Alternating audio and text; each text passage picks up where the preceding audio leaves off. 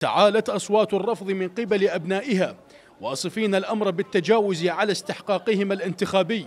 مطالبين الحكومة ومجلس النواب العراقي بإعادة النظر بموضوع الانتخابات المقبلة فللموصل أبناء يمثلونها ولا حاجة لهم بغيرهم.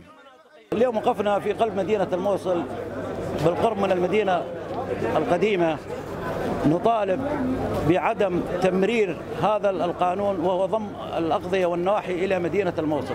اليوم نطالب الحكومة والنواب مجلس النواب بإعادة النظر بموضوع الانتخابات لأنه غبن لأهالي نينوى وغبن للأقضية والنواحي أن الأقضية والنواحي هم أناس آه، خارج قضاء المدينة. المدينة هناك ناس تمثلها أبناؤها آه، هم لديهم تاريخ في مدينة الموصل آه، جراحهم واحدة. أن يكون قضاء الموصل منطقة انتخابية لوحده.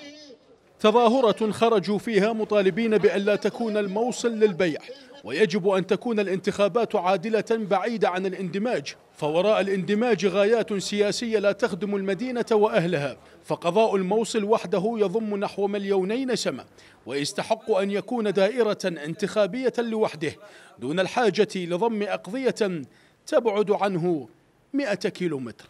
خرجت اليوم نخبة من جماهير الموصل للتعبير عن رفضها واستنكارها للتسريبات التي وصلتنا من داخل قبة البرلمان بأن هناك نية مبيتة لضم قضائي البعاج والحضر إلى قضاء الموصل وجعلها دائرة انتخابية واحدة.